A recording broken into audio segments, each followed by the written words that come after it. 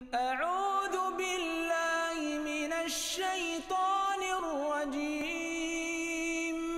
بسم الله الرحمن الرحيم. جامعة جنوب كاليفورنيا قامت بدراسة غريبة من نوعها للبحث عن أفضل نظام لتجديد الجهاز المناعي لدى الإنسان وجعله أكثر قوة وكفاءة وكانت المفاجأة بصيام ثلاثة أيام متتالية.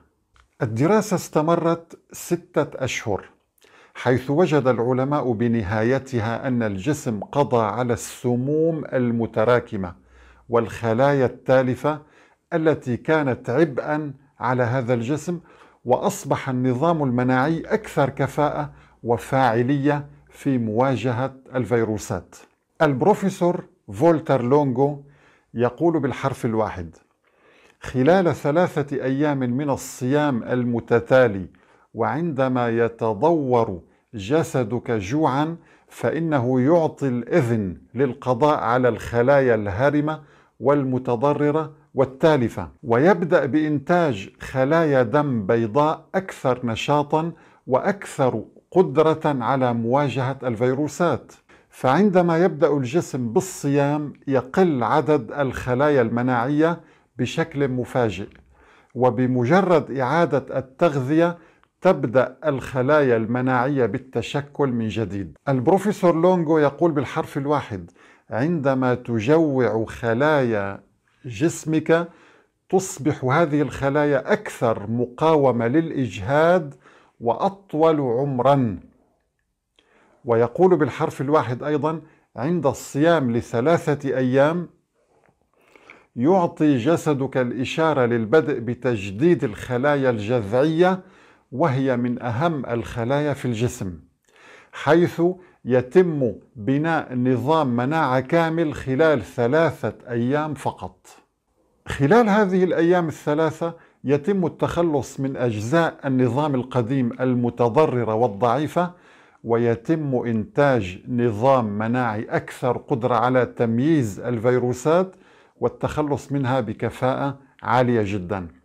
ولكن السؤال ما هي أفضل طريقة للصيام هذه الأيام الثلاثة؟ هذا ما يجيب عنه العلماء اليوم. دراسة حديثة لجامعة إلينويز في شيكاغو نشرت في مجلة Nutrition and Healthy Aging طريقة رائعة جدا للصيام تسمى 16 8 لها فعالية عالية جدا على أجهزة الجسد وأكثر سهولة وقبولا. ولكن ما هي طريقة 16 8 أن تصوم 16 ساعة تمتنع تماما عن الطعام والشراب وثمان ساعات تفطر. هذه الطريقة شبيهة جدا بالصيام على الطريقة الإسلامية. والآن ماذا عن نبينا عليه الصلاة والسلام؟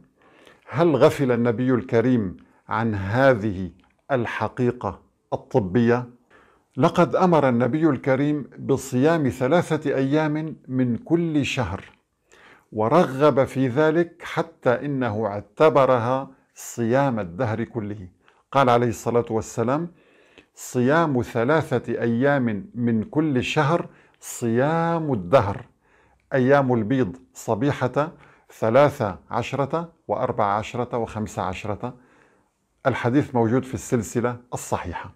وكأن النبي عليه الصلاة والسلام يريد أن يقول لنا جددوا نظام المناعة لديكم كل شهر ليبقى هذا النظام قويا قادرا على مواجهة أي وباء أو أي مرض.